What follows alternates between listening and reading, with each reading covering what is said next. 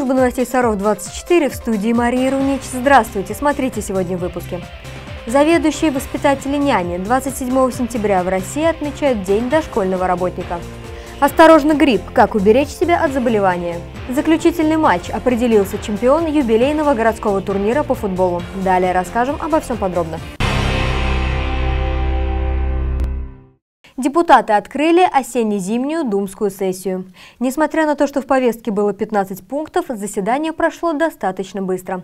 Большая часть вопросов носили технический характер и касались приведения местных нормативно-правовых актов в соответствии с верхним законодательством. Решили народные избранники и судьбу некоторого муниципального имущества.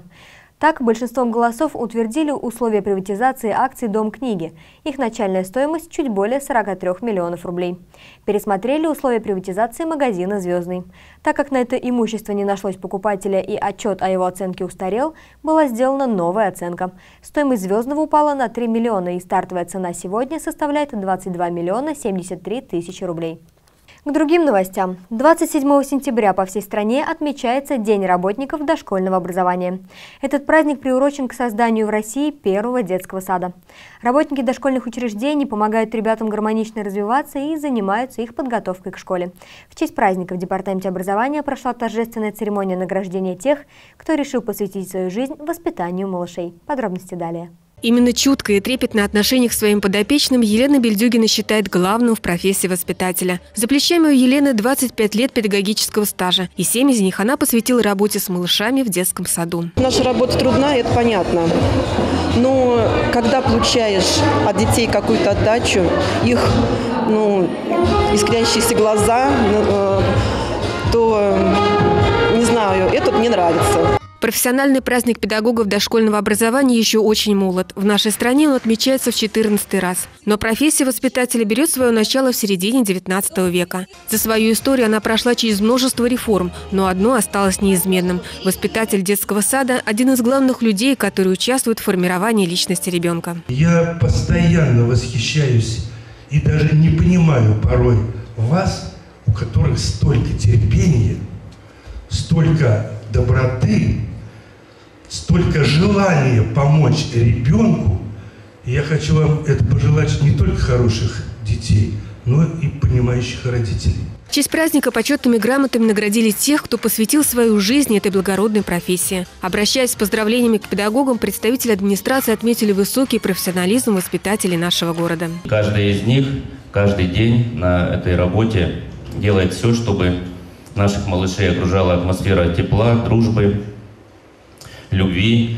После официальной части гостей поздравили дошколята. Танцы, песни и стихи в этот день они посвятили своим наставникам-воспитателям. Но и сами педагоги не остались в стороне и проявили свои актерские способности в творческих номерах. Елена Грискова, Артемий Глазков, Владимир Лисик, служба новостей Саров-24. 28 сентября в Музее ядерного оружия пройдет традиционный открытый видеовечер. Он приурочен ко Дню работника атомной промышленности и посвящен памятным и юбилейным датам этого года.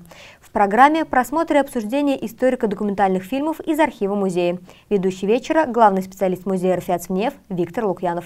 Начало в 6 вечера. Вход свободный. Другая важная информация в подборке коротких новостей.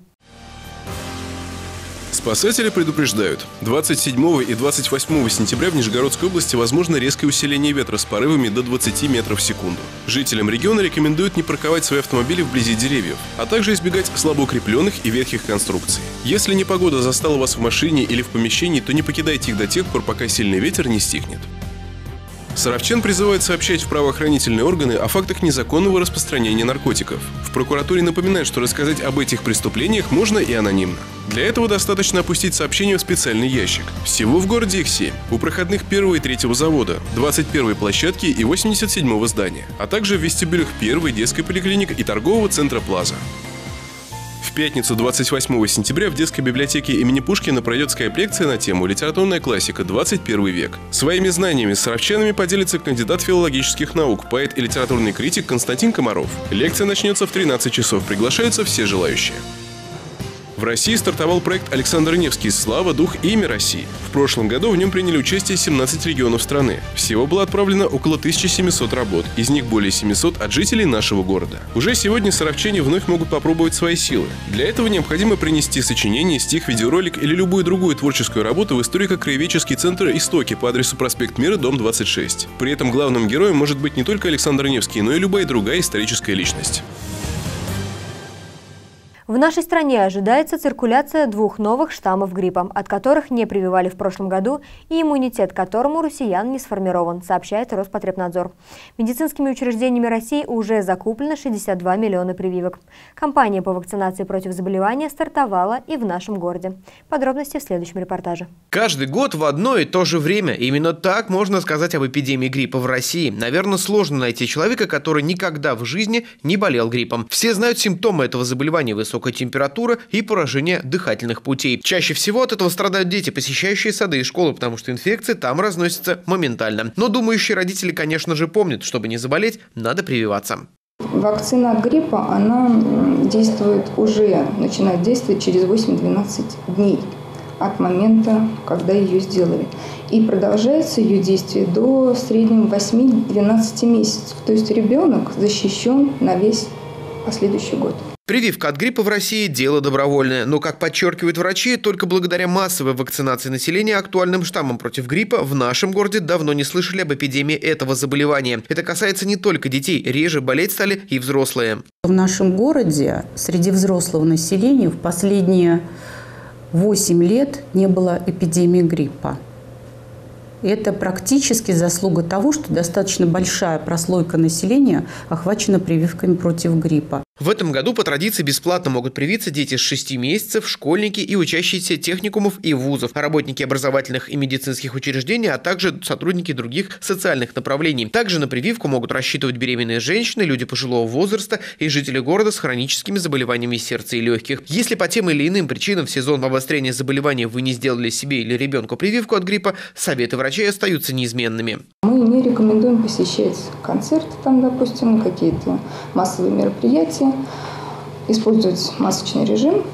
Кто-то, если в семье особенно заболел, ну, в принципе, витамины. Прививочный сезон в Сарове уже стартовал. Затягивать с полезным уколом не стоит, как не стоит и бояться побочных эффектов вакцины. Главное, следует помнить, что последствия от перенесенной болезни значительно тяжелее, чем последствия от введения вакцины. Десятки образовательных организаций по всей стране приняли участие в конкурсе «Школа. Территория здоровья-2018». Педагоги и директора представили на суд жюри свои уникальные адаптированные общеобразовательные программы для обучающихся с ограниченными возможностями здоровья. Саровчане не остались в стороне. Преподаватель УБЖ школы-интерната номер 9 стала призером регионального этапа в номинации «Лучший конспект урока с применением здоровьесберегающих технологий». Татьяна Комарова несколько лет преподает в начальных классах школы-интерната номер 9 уроки здоровья и основы безопасности жизнедеятельности. За это время она разработала большое количество методического материала, который успела представить на различных профессиональных конкурсах города и области. С авторским проектом «Тропа здоровья» Татьяна стала призером Всероссийского конкурса «Школа здоровья-2018». Мы использовали территорию нашей школы которые, оборудовать которые помогли нам сами ребята на уроках труда. То есть они сами это все делали, помогали нам, раскрашивали, расставляли. И у нас получилась так называемая тропа здоровья. На территории школы находится несколько станций, по которым мы двигаемся на занятиях, уроках здоровья, выполняем задания. Начинается тропа здоровья со станции «Кот ученый». Здесь ребята получают первое задание, после чего отправляются на следующие этапы квеста. Так играя, они осваивают программу многих школьных предметов. На этой тропе здоровья можем объединить э, несколько предметов, соответственно, создать для ребенка полную картину мира, влияние природы на человека и как человек может влиять на природу, как можно развиваться, а, чтобы быть здоровым, а, как надо заботиться об окружающей среде. То есть это вот, скажем так, вот этим она, наверное, и хороша.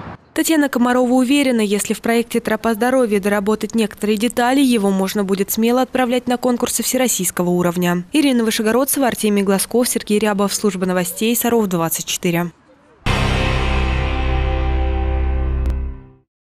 На протяжении многих лет православный волонтерский центр «Радость моя» помогает людям, попавшим в трудную жизненную ситуацию. Раньше все пожертвования нуждающимся сыровчане приносили в храм всех святых, но сегодня для этого появилось отдельное помещение. В нашем городе работает специальный гуманитарный склад, который носит имя царевича Алексея Романова.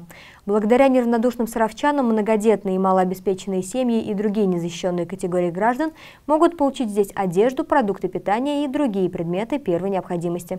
Сегодня Центр «Радость моя» просит жителей города вновь помочь тем, кто действительно в этом нуждается. Гуманитарный склад на улице Пушкина – это место, где человек, оказавшийся в трудной жизненной ситуации, может взять вещи первой необходимости и для взрослых, и для детей. Одежда, обувь, игрушки, коляски – все это можно подобрать на любой возраст и размер. Но сейчас нескольким саровским семьям нужна мебель. Маленький раскладной диван, детский стол и стульчики. Еще для погорельцев в городе Саров э, просим холодильник БУ небольшой, то есть у человека не осталось никаких вещей.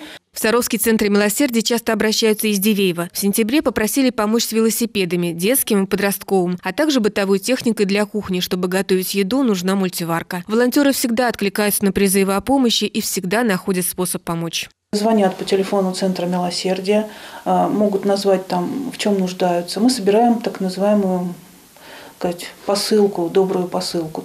Вещи для дивеевцев передают либо через добровольческий пункт выдачи, либо привозят на дом нуждающимся. Анна Куцик напомнила, чтобы получить помощь, нужно прийти на гуманитарный склад, написать заявление и выбрать необходимые вещи. Если чего-то еще не смогли подобрать, то эта заявочка остается, и мы по ней работаем. Потому что люди постоянно подносят вещи, и среди новых вещей может оказаться то, что им было нужно. Передать вещи можно через церковный гуманитарный склад, который находится на улице Пушкина, дом 24А. По вторникам и четвергам после 5 часов вечера, а в субботу с 9 до 12 часов. Елена Грицкова, Владимир Лисик, Сергей Рябов, служба новостей, Саров, 24. 17 туров позади, а это значит, что городской чемпионат по футболу подошел к концу. Юбилейный турнир принес любителям этого вида спорта немало радости и разочарований. Лидеры соревнований определились с первых игр, но кто из них заберет себе титул чемпиона, предугадать было сложно. На центральном поле стадиона Икар прошел заключительный матч между командами Терем и Буревестник. Кто стал победителем юбилейного 70-го чемпионата города, расскажем в следующем репортаже. Весь турнир «Терем» и «Буревестник» шли практически на равных, и финал должен был определить, кто все-таки сильнее. Уже в начале игры спортсмены «Терема» взяли инициативу в свои руки и забили первый мяч в ворота соперников. А к концу первого тайма утвердили свое преимущество еще одним голом. Отыграть пропущенные мячи «Буревестник» не смог. Команды не хватило на два дня игры. У нас через день была игра. То есть в понедельник мы очень важную игру играли. Э, по сути говоря, за этот полуфинал получился. То есть команда выложилась на эту игру, и сегодня уже не хватило просто физически. Терем молодая команда играет на городских турнирах всего два года. Но за это время спортсмены успели заявить о себе. В прошлом сезоне они завоевали титул чемпиона зимнего турнира по футболу среди команд Сарова. А в этом году стали лидерами 70-го юбилейного чемпионата города. Планировали в тройке быть. Вот, ну вот, как говорится, случилось спортивное чудо и заняли первое место. Вот, игрок был достаточно сильный, э, боролись то есть от этого матча зависело все. Либо будем первое место займем мы, либо первое место займет Буревестник. Вот. Но все-таки 70-й чемпионат достаточно такой юбилейный. Вот, и было очень приятно выиграть. Всего в чемпионате города приняли участие 14 команд. По итогам турнира с минимальным отрывом вторыми стали футболисты «Авангарда», а обладателями бронзы – игроки команды «Буревестник». Каждый коллектив э, показали достаточно хороший футбол содержательный. Ну, на следующий год, думаю, некоторые команды выводы сделали, тоже включится в чемпионскую гонку.